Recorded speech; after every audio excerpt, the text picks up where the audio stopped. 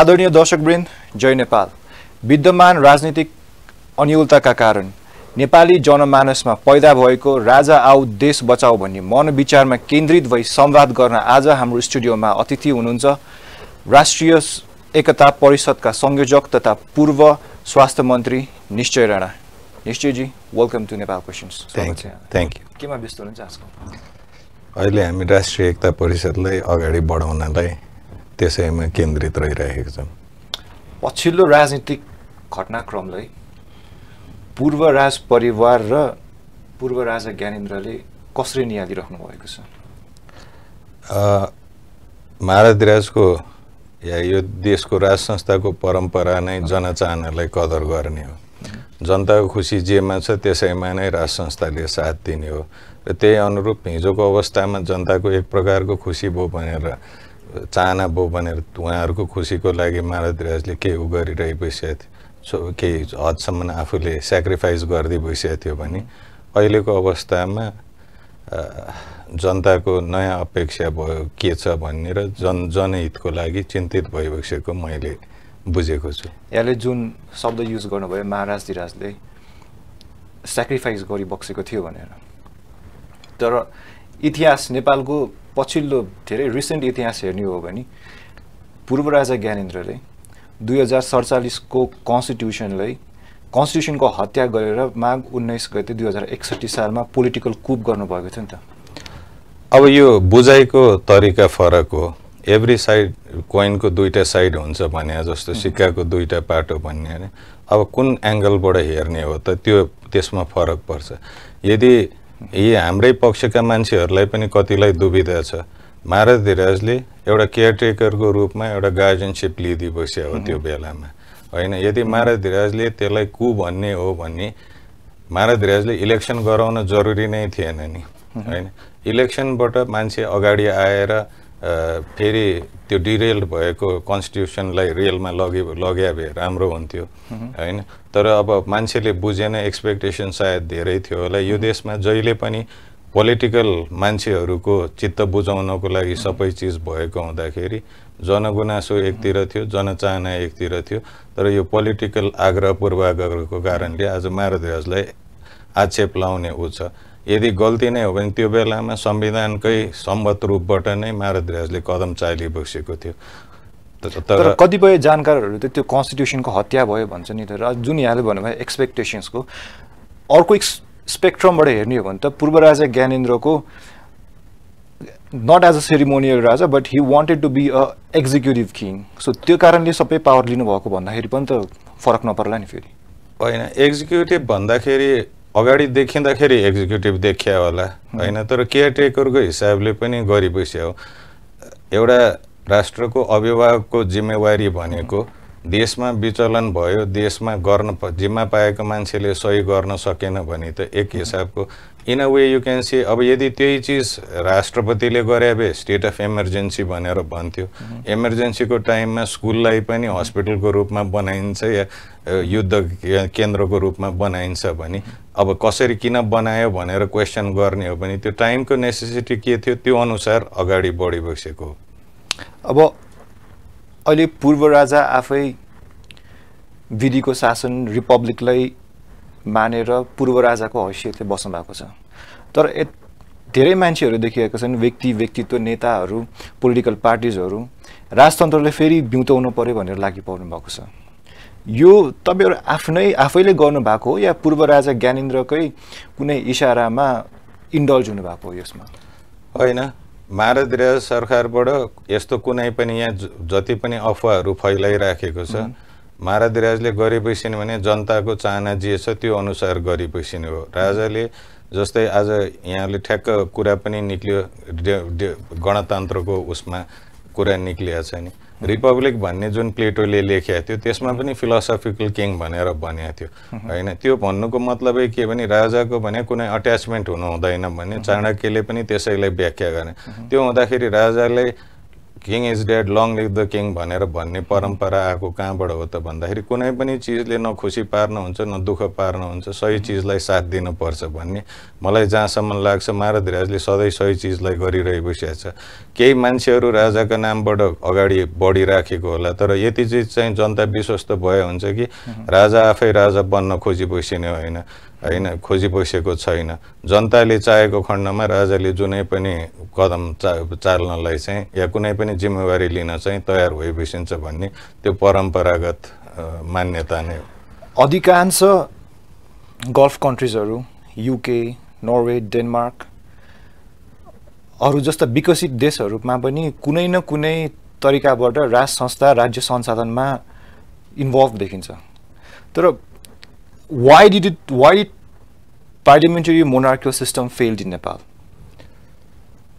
यो राज राजा राजाकै प्रतिनिधित्वको आन्सर दिनुहोस् न आज यहाँले। होइन। पार्लियामेन्ट्री सिस्टम नेपालमा फेल भएको होइन। No I'm talking about parliamentary monarchial system होइन। मोनार्कियल सिस्टम फेल भएको होइन। किनभने आज पोलिटिकल नेताहरूले नै भनिरहेछ हाम्रै प्रधानमन्त्रीज्यूले पनि कुरा निकालिसक्नुभयो कि गणतन्त्रको कुरा थिएन धर्मको कुरा थिएन भनेर। अरूको भेस्टेड इन्ट्रेस्टको लागि मान्छेले यहाँ केही नेतृत्व गर्ने मान्छेहरू काम गरेको भएको हुँदाखेरि फेल भएको हो होइन? अन्य कुनै हिसाबले फेल भएको होइन त्यो चाहिँ। यहाँ अरूको भेस्टेड इन्ट्रेस्टलाई पुर्याउन खोज्दाखेरि नेपालमा vested इन्ट्रेस्ट भन्नाले छिमेकी मुलुक? छिमेकी मुलुक मात्रै होइन यहाँ मिसकन्सेप्सनै त्यही छ कि छिमेकी मुलुकको हो भनेर भन्छ। छिमेकी मुलुक होइन संसारको कन्टेक्समा हेर्ने हो भने यो वेस्टर्न उसले इस्टर्न सुप्रिमेसीलाई अन्डरमाइन गर्न खोजेको हो या हाम्रो पूर्वीय संस्कार संस्कृतिलाई को प पछि पर्न पर्ला भनेर पश्चिमा संस्कृतिले उ गरेको चल्ने हात चाहिँ यहीँका पूर्वीय राज्यहरू नै होला तर चलाउने इसारामा चलाउने चाहिँ बाहिरै बसेको छ। किनभने नेपालको एउटा स्ट्राटेजिक महत्त्व छ। एसियाको एसियालाई कसैले पछाडि पार्न सक्दैन। अबको शताब्दी भनेको एसियाको हो र यो कालान्तरसम्म जान्छ।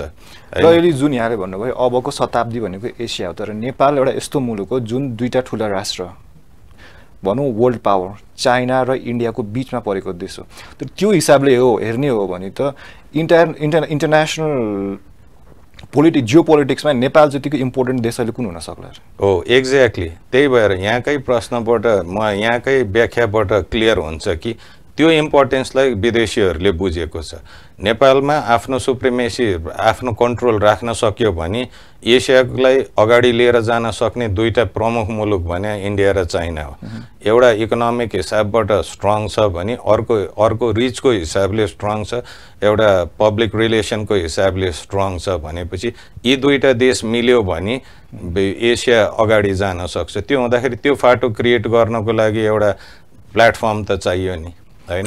त्यो हुँदाखेरि नेपाललाई चाहिँ त्यो हिसाबले स्ट्राटेजिकली युज गरिराखेको छ इन्डिया र चाइनालाई मोनिटर गर्न। इन्डिया र चाइनाले जति छिटो त्यसलाई बुझ्यो नेपाल जति स्ट्रङ र स्टेबल भयो छिमेकी मुलुकहरूको लागि चाहिँ त्यति नै फाइदा हुन्छ।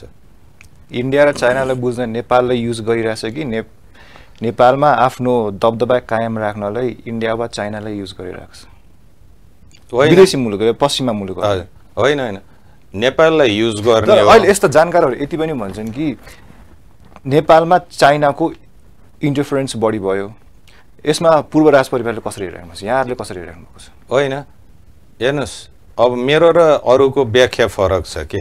एउटा राष्ट्रवादी धारको मान्छे भएर हेर्दाखेरि जो मान्छेले नेपालमा चाल चलखेल गरिरहेछ चाहे त्यो इन्डिया होस् या चाइनाको पक्षबाट होस् उनीहरूको ठाउँमा हामी बसेर हेरौँ न उनीहरूले त उनीहरूको देशको लागि राम्रो गरिराखेको छ नि। उनीहरू त प्रखर राष्ट्रवादी हो उनीहरूको देशको लागि। कमजोरी त हामीमा छ कि हाम्रो नेतृत्वले त्यो बुझ्न सकेका छैन या जो पनि नेतृत्वमा गइराखेको छ त्यसले बुझ्न सकेका छैन। त्यो हुँदाखेरि हामीले आफ्नो हेर्ने नजरिया फेर्न पर्यो। होइन? हामी धेरै आयातित चस्मा लाएर हेरिराखेका छौँ। हाम्रो बियर रियालिटी ग्रासरुट रियालिटीलाई बुझेर अगाडि जान पर्यो होइन? अरूको कारणले हामी पछाडि पऱ्यो होइन? हामी आफ्नो कारणले पछाडि पऱ्यो आफ्नो व्यवहार सुधार्दै गयौँ भने कसैले हामीलाई पछाडि पार्न सक्दैन। चलखेल बढ्या भनेर होइन? एउटा जहिले पनि इन्डिया र चाइनाको के हुन्छ नि इन्डियालाई जहिले पनि डर हुन्छ कि हामी चाइनासँग लाग्यो भनेर भन्ने हुन्छ। चाइनिजलाई के भयो भने यिनीहरूको सबै चिज इन्डियासँग मिल्छ यिनीहरू इन्डियासँग ऊ लाग्ला कि भन्ने हिसाबले उसले एउटा ब्यालेन्सिङ एक्ट गर्न खोजेको हो होइन। हिजोसम्म इन्डियाको चलखेल हुँदाखेरि कुरा अर्कै थियो। आज चाइनाले अलिकति एक्टिभनेस देखाउँदाखेरि मान्छेलाई ठुलो ऊ त्यसलाई इस्युको रूपमा लिइराखेको छ। यी दुइटै मुलुक हाम्रो लागि चाहिन्छ र हामीले यिनीहरूलाई कसरी भनौँ न यिनीहरूसँग कुन हिसाबले एउटा स्टेबल रिलेसन राख्ने त्यो चाहिँ अबको सोचको विषय हो। Let's go back to say monarchial issue नेपालमा राजतन्त्र अन्त हुनुमा राज परिवारको कुन चाहिँ गल्ती वा मानौ कुन चाहिँ मिस्टेक या प्रब्लमले गर्दाखेरि राजतन्त्र अन्त भएको महसुस गर्नुभएको राजतन्त्रको गल्तीले होइन होइन? नेताहरूले आफ्नो स्वार्थ सिद्धिको लागि चाहिँ जनताको आँखामा छारो हालेर राजतन्त्र अन्त गरेको हो होइन? उनीहरूले जुन सपना देखाएर राजतन्त्रलाई अन्त गराएको छ अब नेपाली जनताले बुझ्न पर्नेछ कि त्यो चिज पुरा हुन सक्दो रहेछ कि रहन्छ। फर इन्स्टेन्स अघि भर्खर हामीले कुरा गऱ्यौँ नि महाराज धिराजले पार्लियामेन्ट डिजल्भ गरिदिए बस्यो भनेर। आखिर होल इस्यु त त्यसैको लागि राज संस्थालाई एक प्रकारले बदनाम गरिएको थियो होइन त। आज यत्रो वर्ष लाएर यत्रो अरबौँ रुपियाँ खर्च गरेर राख्या संविधानले पनि त्यो ऊ त छेक्न सकेन नि। होला आज कोर्टले भन्यो कोर्टको वर्डिकले आएर त्यसलाई रिइन्स्टेट गरिदियो। तर गर्न गल्ती हुन सक्ने ठाउँ त रहेछ नि। सायद हिजो त्यो तोड खोज्या भए सायद त्यो बेलामा पनि त्यो हिसाबको एउटा तोड त निक्लिन्थ्यो होला नि। तर अब नेपालमा राजतन्त्र फर्किन सक्छ कि सक्दैन? किनकि धेरै यस्ता मानिसहरू छन् कि जो राजतन्त्र फर्काउने अभियानमा एकदमै एक्टिभली लागिरहेका छन्। होइन फर्किन सक्छ कि सक्दैन भन्ने त सेकेन्ड्री कुरा हो। फर्काउनै पर्छ भन्ने मान्यता होइन? किनभने तर नेपाली जनताले जुन सिस्टमलाई अलरेडी एबोर्ड गरेर अगाडि बढिसकेका छन् फेरि त्यही पुरानै सिस्टममा जाने किन? होइन नेपाली जनताले अबोर्ड गरे या नेपाली जनताले तिरस्कृत गरेको सिस्टम होइन त्यो। होइन? त्यसका एभिडेन्सहरू छ। हामी त्यो चिज बिर्सिरहेछौँ। आज नेताहरूले बोलिरहेछ कि त्यो हाम्रो त्रिसठीमा त धेरै नेपाली जनता आएका हुन् नि त सडकमा। आएका हुन् कि ल्याइएका हुन् त्यो पनि बुझ्न पर्यो नि। यहाँ हामी सबैजना त्यो बेलामा प्रमाणितै छौँ। त्यो बेलाका माओवादी विद्रोहीहरूले घर घरमा गएर एकजना आउनै पर्छ भनेर काठमाडौँले लिएर हो र त्यो आन्दोलन यहाँ। काठमाडौँको मान्छे त इन्भल्भ पनि थिएनन् सब बाहिरबाट मान्छे ल्याएर हरेकको घर घरमा दुईजना तिनजना गरेर गरे। होइन त्यो भाडामा ल्याएको भिड या डर डर त्रासमा ल्याएको भिडलाई यदि जनताको प्रतिनिधित्व भन्ने हो भने चाहिँ त्यो मलाई जहाँसम्म लाग्छ त्यो आज पनि फेरि राजनैतिक व्याख्या मात्रै हुन्छ त्यो। तर हिजोका दिनमा पनि गिरिजा प्रसाद कोइराला जीवित हुँदाखेरि उहाँले सार्वजनिक रूपमै बेबी किङ र सेरिमोनियल किङको अफर पठाउनु भएको। तर त्यसलाई उहाँले पूर्व राजा ज्ञानेन्द्रले त्यसलाई आत्मसात गर्न सक्नु भएन र एक्जिक्युटिभ रोल नै खोज्नु भयो। त्यो किन? होइन त्यो त्यो पनि एउटा भ्रम फैलाइ फैलाइएको छ। यो भ्रम र सपनाका व्यापारीहरूले बेच्ने ऊहरू मात्रै हुन्। यी नेताहरूले जुन भनिरहेको छ नि कुन चाहिँ प्रुफ छ त त्यो बेलामा राजाले इन्कार गरिबस्यो भनेर? केही प्रुफ छ? त्यत्तिकै जसलाई जे मन लाग्यो त्यही भन्दै हुन्छ त होइन? र प्र्याक्टिकली हेर्ने भने महाराज राजले त्यो विषयमा बोलिबस्या होला नहोला त्यो आफ्नो ठाउँमा छ।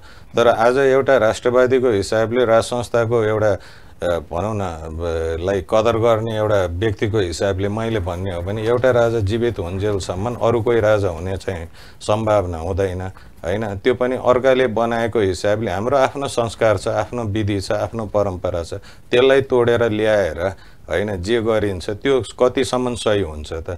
त्यो हुँदाखेरि नामको लागि एउटा पाइस पाएँ भन्ने जस्तो मात्रै गर्नु भने कि त्यो सही हो कि औचित्यसँगै आउनु चाहिँ सही हो? तर राजावादीहरू पनि टुटफुट छ एकताबद्ध छैन भनेर भन्छन्। पाँच छवटा समूह छ भनेर भन्छन्। The how is it possible for monarchy regime to be reinstated in Nepal होइन। पाँच छवटा मात्रै होइन। लेट मी क्लियरिफाई पचास साठीवटै होला त्योभन्दा बढ्दै होला। फरक किन भने किन राष्ट्रवादी शक्तिहरू त्यस्तो हुन्छन् भने होइन राष्ट्रवादी त गणतान्त्रिक भएर या रिपब्लिक भएर त राष्ट्रवादी हुन सकिन्छ नि। राजावादी हुँदैमा राष्ट्रवादी राष्ट्रवादी हुन्छ भनेर भन्न मिल्छ होइन होइन डेफिनेटली अब त्यो भन्ने पनि लेट मी रिफ्रेज स्वदेशमुखी राष्ट्रवादी भनौँ होइन? आयातित विचार बोकेका होइनन्। स्वदेशमुखी राष्ट्रवादीहरू होइन? यस्तो हुनुको कारण चाहिँ के भने कोही जन्मजात कङ्ग्रेस कम्युनिस्ट या कुनै आइडियोलोजी बोकेर जन्मिँदैन। उनीहरूलाई इन्डक्ट्रिनेट गरिन्छ उनीहरूलाई प्रशिक्षित गरिन्छ र यो बाटोमा जाऊ भनेर भनिन्छ। एउटा स्वदेशमुखी राष्ट्रवादी भावनात्मक रूपबाटै राष्ट्रवादी हुन्छ। उसले आफ्नो देशलाई आफ्नो हिसाबले माया गर्न सिकेको हुन्छ। होइन त्यो हुँदाखेरि इन्डक्ट्रिनेटेड भाके या प्रशिक्षित भावे एउटै धारमा आउँथे होला। होइन हरेक मान्छेले मेरो मैले मेरो देशलाई म यसरी माया गर्छु भन्दाखेरि त्यो गलत हो जस्तो चाहिँ मलाई लाग्दैन। होइन र जुट्नुको भने के हो भन्ने केही लिड गर्ने मान्छेहरू मात्रै जुटेर जुट्नु भनेर भन्ने हो भने त्यो पनि हामी गलत सोचिराखेका छौँ।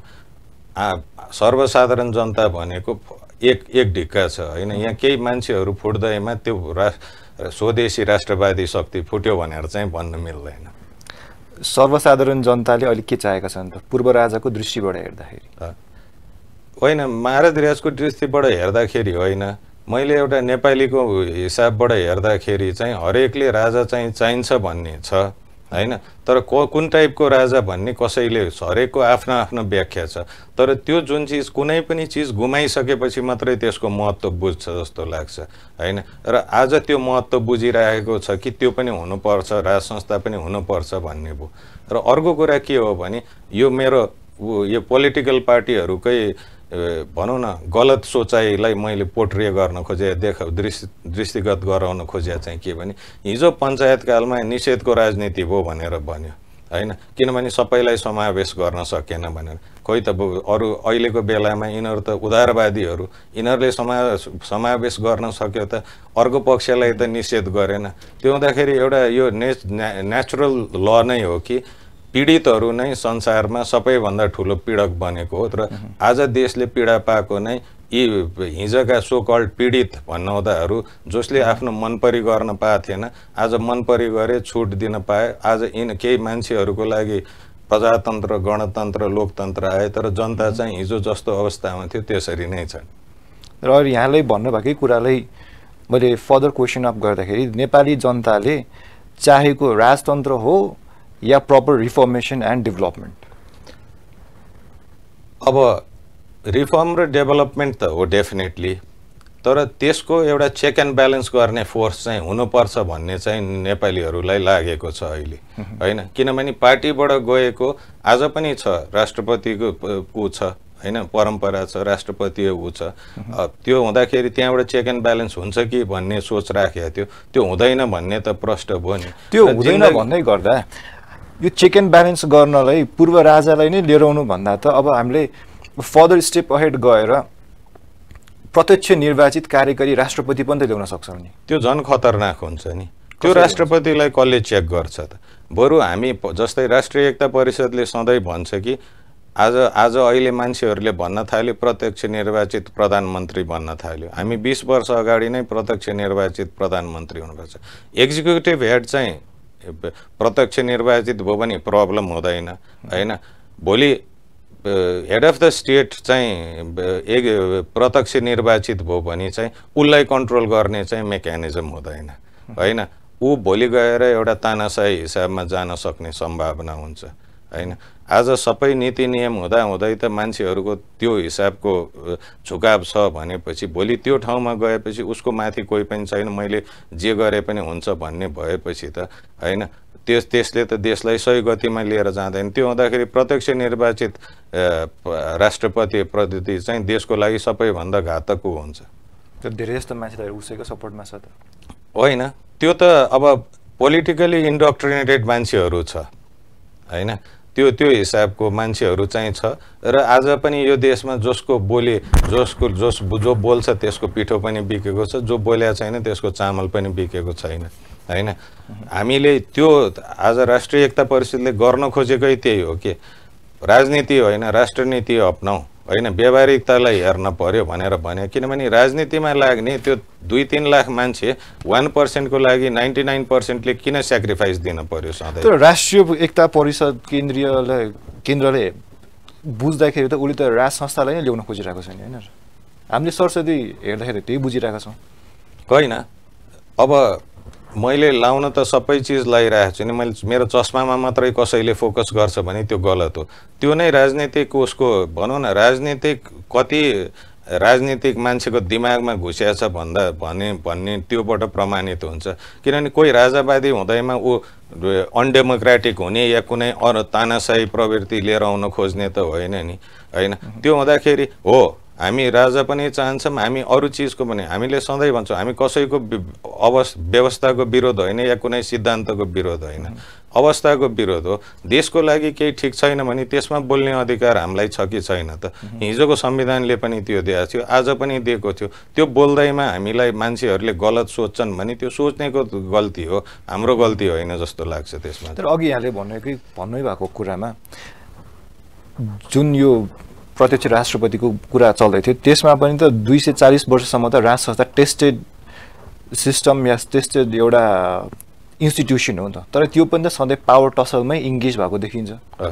होइन? त्यो त हेर्नु जहाँ पनि गएपछि त्यो एउटा ऊ त भइहाल्छ। तर जुन हिसाबले आज जुन पावर टसल छ नि जुन तल्लो स्तरको छ र सीमित मान्छेको स्वार्थको लागि मात्रै छ त्यो चाहिँ हिजोको अवस्थामा थिएन। इन्टरनल फ्यामिली टसल हुने त जहाँ पनि भइहाल्छ।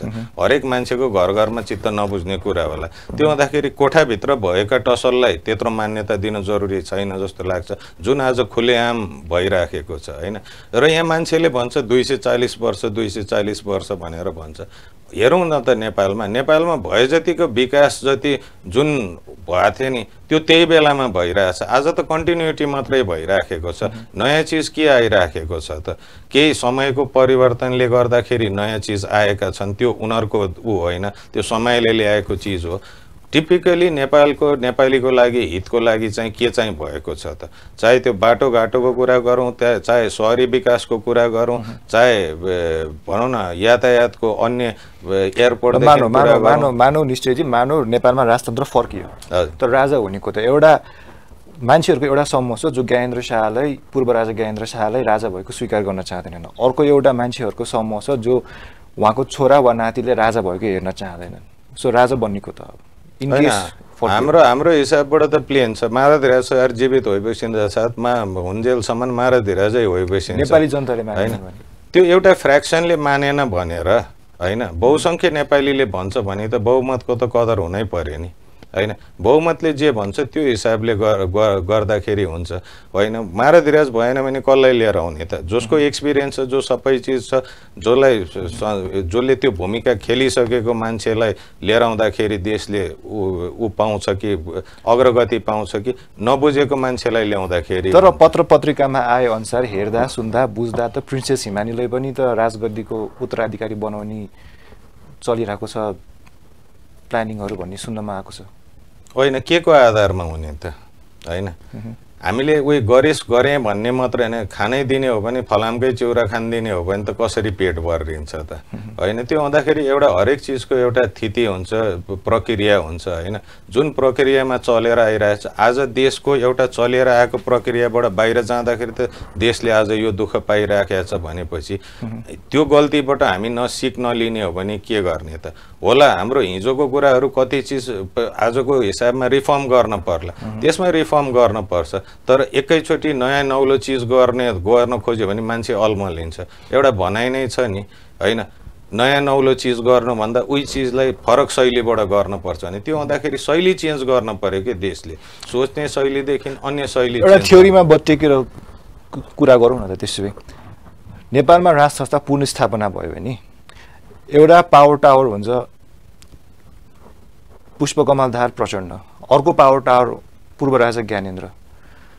तर त्यो पोलिटिकल र त्यो पोलिटिकल सिनेरियोमा यो दुईवटा शक्ति केन्द्र can they politically coexist किनकि हिजो त एकअर्कासँग युद्ध लडेर आएको शक्ति हो नि त।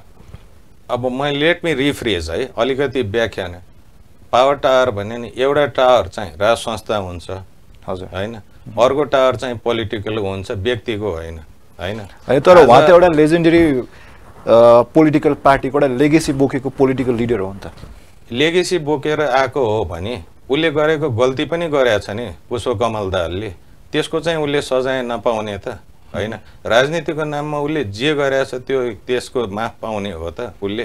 त्यो हुँदाखेरि ठिक छ उसले यहाँसम्म लिएर आयो देशलाई त्यसको लागि धेरै धेरै धन्यवाद होइन? तर तपाईँले यहाँसम्म लिएर आउँदाखेरि तपाईँले गरेका हत्या अनियतिताहरू चाहिँ के? उसले देशलाई यहाँसम्म ल्यायो भनेर तिलाञ्जली दिने हो त। No, my होइन? question was politically, can these two political towers coexist? मैले त अरू अर्को पुष्पकमल दाहाललाई टावरको रूपमै देखिँदैन। अबको नेपालीहरूले बुझ्न पर्ने भने के हो भने यस्ता राजनीतिको नाममा बेथिति मचाउनेहरूलाई पहिला त न्यायिक हिसाबबाट ल्याउनु पर्छ होइन? न्याय नत्र होइन भने यो एउटा नजिर बनेर ब जान सक्छ। जसलाई जे मन लाग्दैन मान्छे मार्दै हिँड्ने लुट्दै हिँड्ने सब गर्ने अनि उसले देशको लागि गरे भनेर उन्मुक्ति पाउने त। जब उन्मुक्ति नै पाउँदैन भने ठिक छ पुष्पकमल दाहालले जेलको कठघराबाट होइन? उसलाई टावर बनाउन सक्छ भने बनाओस् किनभने डेस्टिनेसन त्यही नै हुनुपर्छ उसको। हरेक नेपालीले बुझ्ने र बुझाउनु पर्ने अब त्यही हिसाबले छ। एनिवेज निश्चयजी स्टुडियोसम्म आइदिनु भयो। यस्तो सर्ट नोटिसमा आइदिनु भयो। टाइम दिनुभयो हामीलाई। त्यसको लागि धेरै धेरै धन्यवाद। Thank you thank you very much आदरणीय दर्शकवृन्द उहाँ हुनुहुन्थ्यो राष्ट्रिय एकता परिषदका संयोजक तथा पूर्व स्वास्थ्य मन्त्री निश्चय राणा। यसका साथै आजको समय यहीँ समापन हुन्छ। नेपाल क्वेसन्सको टिम र टुडे टिभीले बिदा दिनुहोला। जय नेपाल।